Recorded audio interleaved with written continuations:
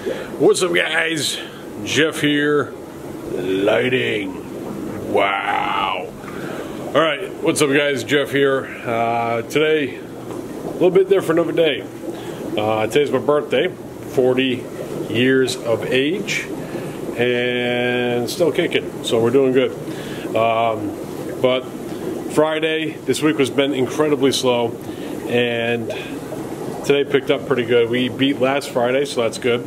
Um, and from a sales perspective, um, we almost doubled last Friday. So I was wondering, you know, if things were heading in the right direction or not, but um, we definitely uh, made up for it towards the end of the week. Did get a fish delivery today, and I'll kind of point out some of uh, the things that were of interest to me in this delivery. Um, the biggest being, and I don't know if I see any present out and about right now. No. So we got some clown Plecos, uh, which are pretty cool. Uh, it looks like one, uh, the butt end of one right there, uh, under the filter. But I had a rock that was getting some algae on it, left the algae on the glass, and then the shell has it as well. So I wanted to make sure that they had a little something to chew on. But we got those. We got some um, neon dwarf rainbows, which as soon as I put the camera in the tank, they took off. They're basically just a bigger version of these guys, uh, which I probably shouldn't have these guys on the bottom rack because they're very pretty fish.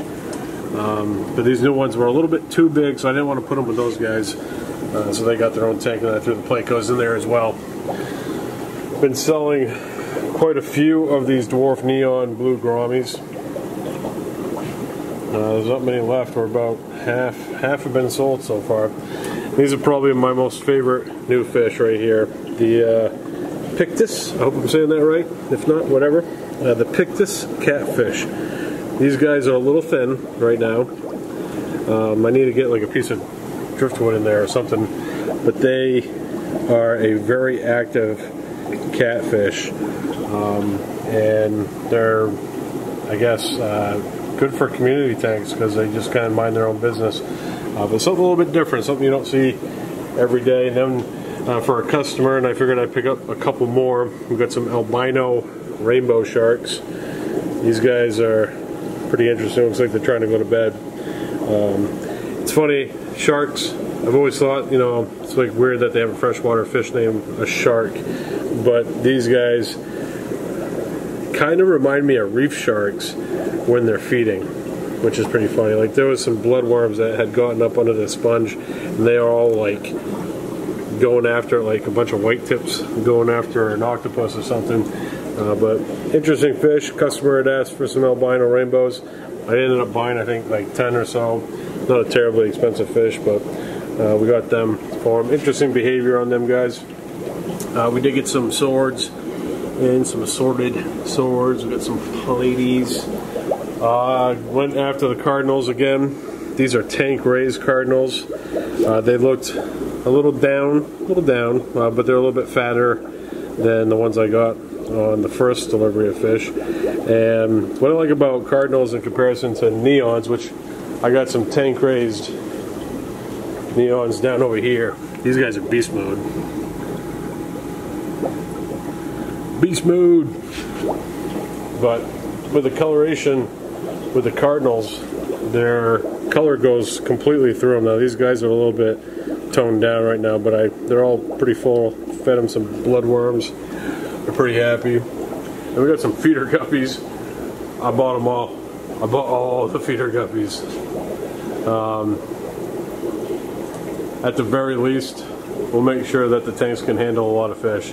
I got three tanks of feeder guppies right now because I had so many of them. And actually, I put some in the quarantine system as well. Uh, but yeah, oh, we got some uh, Danio, Danny O dinos. We got some zebra golds. And we got some leopard longfins. I think there's a normal leopard in there too. But interesting little little buggers.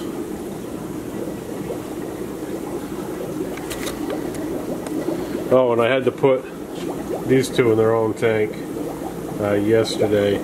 So we had quite a few of them in here. Then they started taking taking them out one by one, taking out the competition. This male and this female. Basically, we're just beating the heck out of the female that was in here. And my other half standing next to me, she's like, "Oh, they're they're beating them up. We gotta take them out." And I'm like, "All right." I just grabbed the net and went, put them over here. And then the female that was getting beat up started showing color and then started beating up these albinos. So can't hate a fish for what is built inside it. Um, but maybe somebody will buy these two, take them as a pair, uh, and uh, see if they can make some babies, or maybe I'll keep them and try to make some babies. I did have a customer come in today that breeds uh, albino kribs, so uh, might do a little bit of wheeling and dealing with him. But love these Pictus catfish. Uh, probably will get more for them. I, would like to get a piece of driftwood in there, maybe a plant or two, uh, just to make them feel a little bit more at home. But yeah, we got some new fish today. Um, had a lot of folks come in. We sold a little bit of fish. The first hour, man, like I opened the doors. The first hour, boom, like right out the gate. A lot of repeat customers, which is awesome. Uh, folks who watch the videos got to meet some subscribers, long-time subscribers, and uh, got some fish in. Sold some corals. Sold some hermit crabs, some snails. It was a good day. A good day. So tomorrow is Saturday. I hope to uh, do well tomorrow. We'll see how it goes. Uh, today we doubled sales in comparison to last Friday, so let's try to double sales on uh, last Saturday. I'll be happy to tie. I'll be happy to tie. Um, I think at some point, oh, I did. Oh, I shut the lights off. Uh, I did get some bettas got some bettas. And before the betta police start calling, um, I already have ordered bigger containers because these are a little bit small. Um, we got some double tail half moons, which I think are absolutely gorgeous. Then we got some good old fashioned male betta. Male betta.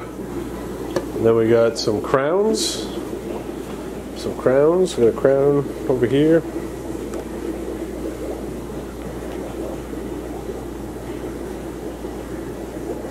So slowly expanding, slowly carrying more and more fish, slowly becoming an aquarium store.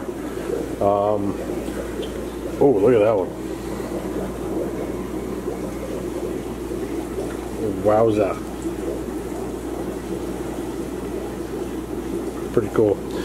Um, but coming along, everything's coming along. Those I can't get over those feeder guppies, man. I ordered a box. I didn't think they were to give me the whole store. so many of them. I'll never need another feeder guppy again until I come in tomorrow and half of them are perished. That is a ton of guppy. Ton of guppy. So it was a good day. Um, hopefully tomorrow's a better day. Right now I got a couple things I need to do before I get out of here. I'm starting uh, to mix up some new salt water. I want to kind of get this guy to at least 100. I think I was down to 60 on there. And then if I can get this to 120, I'll feel comfortable running the RO system overnight because uh, I should be able to put out at least at the minimum up to 180 tomorrow. And then we have a little bit of salt water, so I'll mix this up tonight. We'll have that RO ready to go, so kind of splitting our difference there. Uh, so we got that going on. Water box is looking good. And then one of you had asked about uh, phytoplankton and how that was going. Uh, not well. The phytoplankton has not gone well. Uh, we're on round two. Right now we got two different species of phytoplankton right there. We got some ISO, and then we got the nano going. I got uh, two, I have two other species of phytoplankton up front that I'm going to start culturing tomorrow. I need to go get a better light, um, better light, a little bit more air, need a little bit more air up there. But I got four species of phytoplankton in house right now. This is the uh, Tetra. That is the Chaeto. I feel like deja vu right now. Did we already do this? I think we might have already done this. Got the ISO, then the Nano. So I got four species of phytoplankton that I'm going to try to culture. I got a hold of my live food guy today. Uh, he's going to be giving me a shipment of a couple gallons of uh, copepods, and um, he's going to give me some copepods. Going to send me up some spirulina, uh, which is I'm not sure if that's freshwater phytoplankton or not. Um, he's going to be sending me some of that. Uh, he's going to be sending me some Daphnia for the freshwater folk, and that's about it. So I got copepods that I'm culturing in the bag.